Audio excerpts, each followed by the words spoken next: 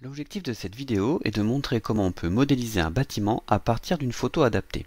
Donc ici, vous voyez, j'ai une photo d'un bâtiment que j'ai adapté. Donc si je fais bouton droit, modifier la photo adaptée, je retrouve bien mes fuyantes et mes axes, et ainsi qu'une échelle à peu près correcte par rapport à mon, à mon personnage. Donc ici, l'objectif c'est de modéliser ma maison. Donc qu'est-ce que je vais faire? Je vais prendre mon outil crayon. Je vais partir ici, jusqu'à peu près à mon coin là. Je monte sur l'axe bleu.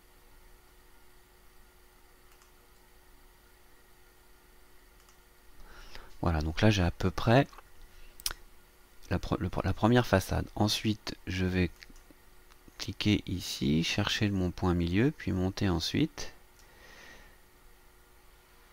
près ici.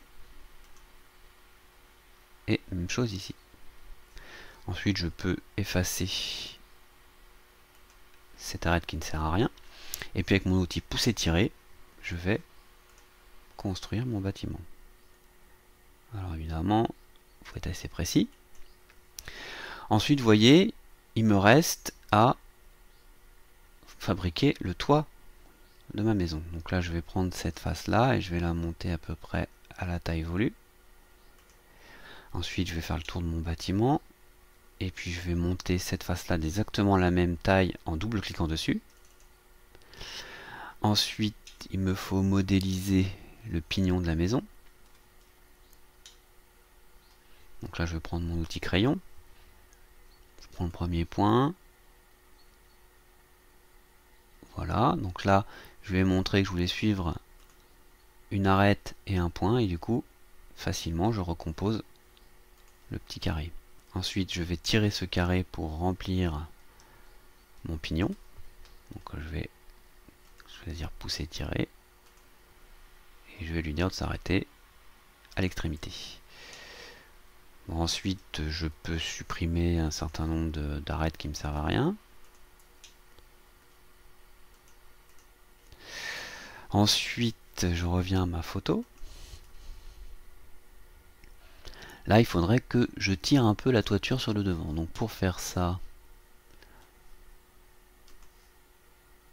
prendre ce point-là et ce point-là.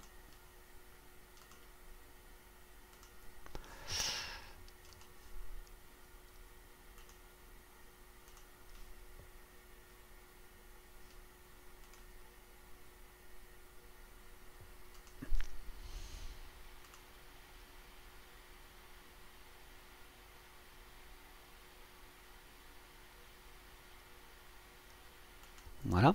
Et je vais faire exactement la même opération à l'arrière du bâtiment.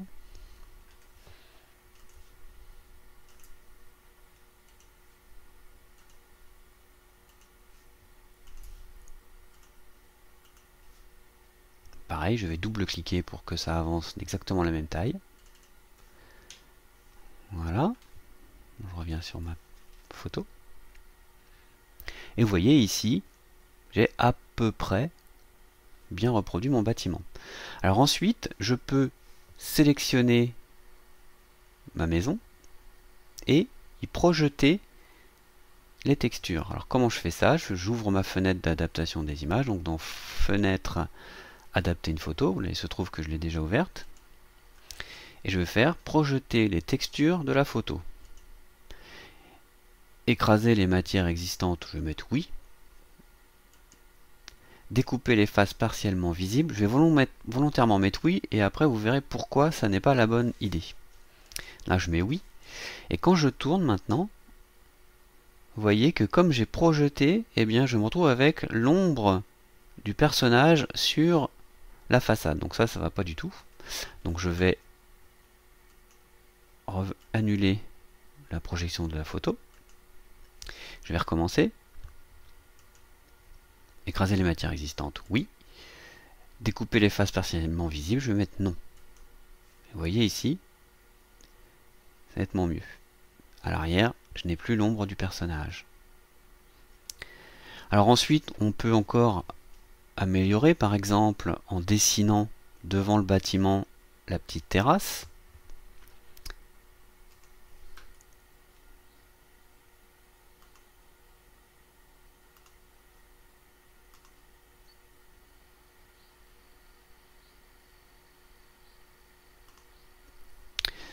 Ensuite, je peux euh, éventuellement gommer cette arête qui ne me sert à rien là. Et puis je peux projeter sur ma terrasse les petits graviers. Alors, pour faire ça, je fais projeter les textures de la photo. Découper les faces partiellement visibles, non. Vous voyez ici. Bon après le résultat n'est pas super. Hein. Là il faudrait mieux aller chercher une texture de gravier pour remplir. Donc pour faire ça, je vais dans matière. Ensuite je vais choisir couvre-sol. Je prends de la roche. Voilà, ça fait plus joli. L'avantage de, positionner des textures au sol, hein, euh, c'est qu'on peut après, bien sûr, demander à voir les ombres. Et vous voyez que elles sont reproduites sur le sol. Donc ça rend la photo un peu plus réaliste. On peut également modéliser les fenêtres, par exemple.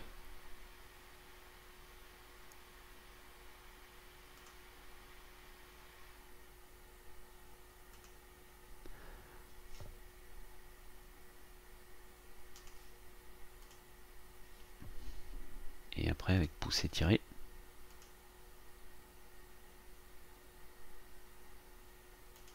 on peut faire pareil à côté hein, avec, en reproduisant une deuxième, euh, fenêtre.